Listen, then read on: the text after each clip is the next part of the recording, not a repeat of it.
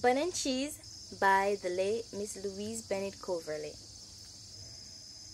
Them boy they jeer Miss Matty and a macarona tease.